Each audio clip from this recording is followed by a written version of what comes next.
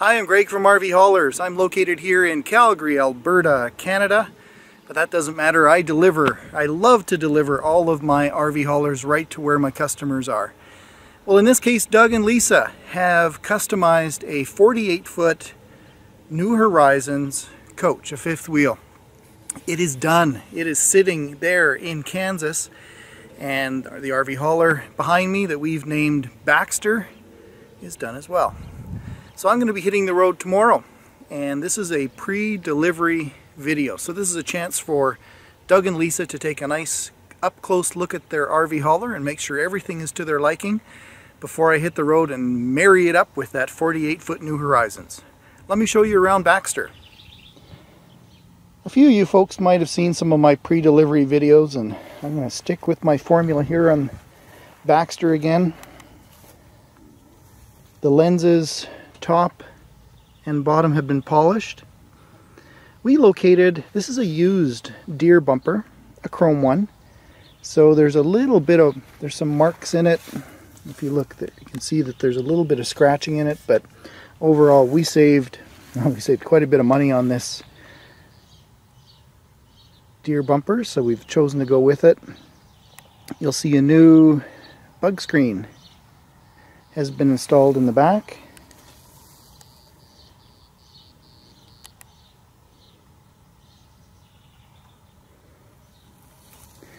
And as soon as you come around the side of this 2011, still under warranty by the way, you're going to see that Lisa and Doug chose to do something quite unique. We were sent paint samples from their New Horizons coach and those decals are going to really tie this rig together with their New Horizons when we get down there to Kansas.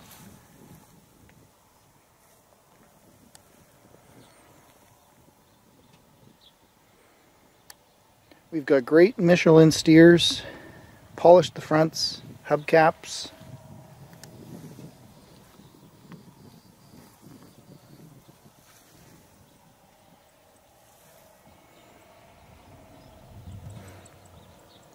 That certified clean idle decal that was left on the side, that uh, makes it a little bit easier when we travel to California. They like to see that.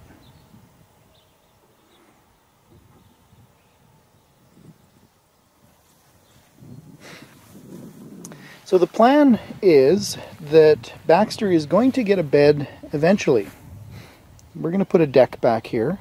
But right now, Doug and Lisa are going to travel a little bit and just see what they really need. So for the time being, we've put on some poly fenders to protect the back of the sleeper. But one thing that we did do is we installed one of my monster-sized drom boxes or storage boxes stainless steel hardware, big stainless T-handles, locking of course. I'll show you inside there in a moment. I'd like to show you the drom box now. So I make mine really as big as I can that works feasibly for the steel size and as well to leave enough room to get into fill our fuel. So you'll see that it works just perfectly. You can get uh, the, the, big commercial fuel, the handles uh, down into the tanks. Uh, this drom box is 6 feet wide, 16 inches deep, and 7 feet high.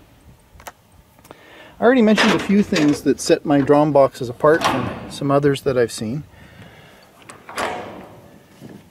So all of the locks are keyed alike and you can see a little bit of moisture. I actually did um, a, a, test. I put, took the pressure washer and aimed it right at the doors and you'll see that the moisture came to here but these are a, what's called a bulb seal. They actually have quite a bit of compression to them and the door pushes against these and seals it really well. The left hand side in Doug and Lisa's case has been left full height so that we can put tall objects in there, such as ladders. If you look at the locks themselves, they're quite a nice um, design. Very, very well built. They're made by buyers. And something else that I feel very proud about is that you're going to see all of my boxes are sheared and formed. So take a look. There is not a weld on any of these corners. These are all using a, uh, these are sheared and formed so these corners are bent and the only seam is in the back. So this is one massive piece of steel with the only seams being welds at the bottom. That's just some dust down there. but what it means is they're extremely strong. So because of this uh, bend around here, they've got substantial rigidity. I, I can't do this with one hand, but if you try to bend the doors, they're nice and stiff. Very little mo movement in them. And also, again, if you've seen some of my bed designs, I really like things that are flush. I don't like lots of drip edges and kind of stuff sticking out because all of those points are areas where things can rust. So the whole box has been, well, let me open the other side here. The whole box has been carefully sandblasted inside and out.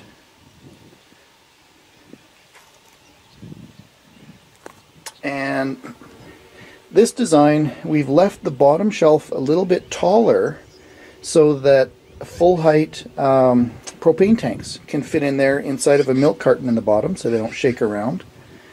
Now remember, uh, this is a bit of a, a, temporary design, so I, I put a 6 inch riser on the bottom of this drom box because that's usually the thickness of the bed that would go back here if there was a smart bed. It also is important to have that little raise in there so that we can get to the, the filler caps on the fuel tanks bit of wind coming up, but these shelves lipped this way so that things can't slide uh, into that big open section. This opening is usually, I make from this shelf to this shelf, that's 16 inches. And of course, all of these are custom made, so if you want shelves in different locations, just let me know. But there's a quick tour of our drom box design. Just temporarily I took some of my used aluminum decking that came off some of the other trucks and put it back here just to close things in, make it look a little bit finished. We've cleaned up the frame a bit. Again, it's a bit of a temporary solution for a few months while Doug and Lisa travel. There's our favorite ET hitch from Henry Schmidt in Florida.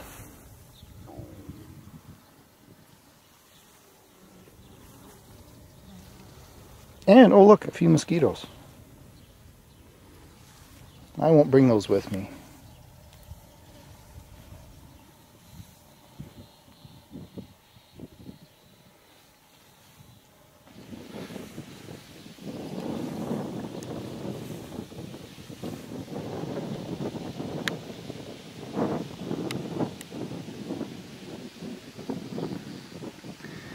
Because this is a 2011, there are very few blemishes in the paint. It's in super shape.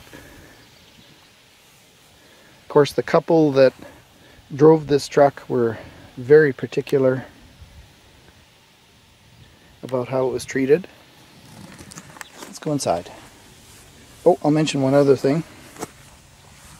There were some small marks in the backs of those mirrors. So I replaced those. Those are brand new.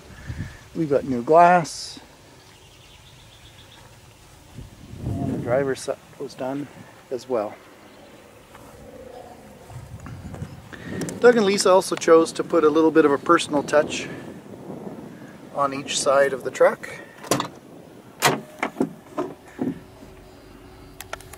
We've also put in for Doug and Lisa the minimizer floor mat system, the three-piece system. Take my shoes off. There's the direct link brake controller. I've got my GPS in here already. getting ready for the trip. But this is a Voyager camera system. I need to turn the key on. It's keyed to the ignition. There you go. You can see that the camera's looking right at the hitch. So you'll be able to see the trailer coming up into the head there.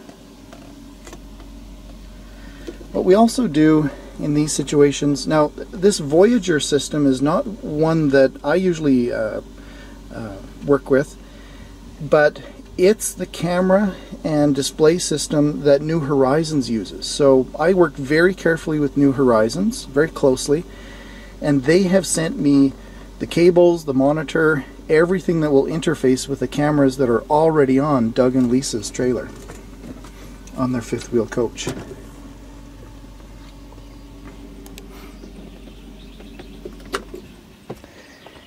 So these seats are top of the line leather ones. That little handle that you see right there tells you that these seats turn and spin backwards. Uh, always put the plastic on the floor just to make sure that uh, no damage happens. Of course, everything has been steam cleaned. This was a non-smoking truck, but it's all been detailed very carefully.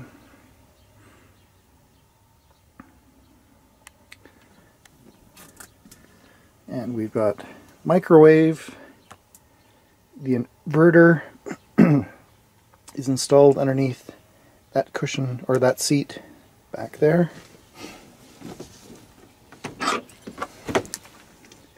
Refrigerator's running. I'll load that up with water for my trip. And a few little things. Um, assortment of fuses. Spare air governor. Should always carry one of those. These are all the uh, window coverings for the back windows. All the manuals. And I didn't point it out yet, but we also have a dash camera uh, that records everything that goes on outside the front window. We've also put in a unit in more of a high-end CB radio. I've also put in an extra set of cigarette lighter outlets. Oh, a little dark. There we go.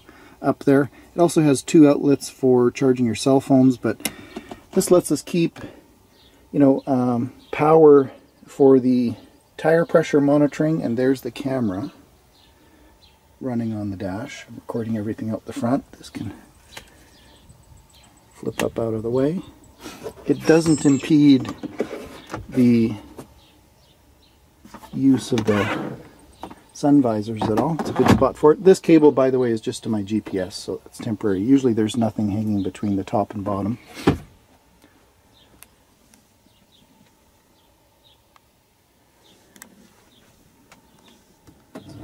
So there's a few things they'll be using. I've got a few spare parts that were left over from the monitor and this is the window covering for the skylight. That thing unravels and covers the top window to make it nice and dark if you want to sleep in here.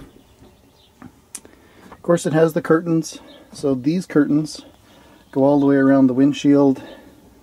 There's another one there that covers the other half. and here's the tall curtains. What it does is it divides the room in half this way. Goes in behind the two seats. So if somebody wanted to be in the back and sleep while someone was driving and make it dark, you can do that. Uh, down here, in this cubby, I've taken care of getting a new porta potty for Lisa and Doug It's brand new. And it's exactly the right height so that it fits in that storage box, in that cabinet. It's one that you pump up so you can put water in here and it flushes and it separates from the bottom so that you can empty it easily. But you'll see it fits just perfectly in there. Of course, that's one of the things that makes this a motorhome in most states. Between the microwave, separate air conditioning and heating in the back, sleeping, cooking facilities and refrigerator, that's what makes it a motorhome. Well, Lisa and Doug, I'm ready to hit the road. Uh, take a look at this video, make sure that everything we've discussed and in our detailed worksheets has been included in the truck. If you see anything that catches your eye, let me know. Else, probably tomorrow, I'm going to hit the road. I've got about, realistically, about 30 hours of driving to make it to the New Horizons factory. But I'm looking forward to seeing that nice new trailer of yours, Lisa. Thanks for watching. If you have any questions about our RV haulers, our website is www.rvhaulers.ca. Thanks.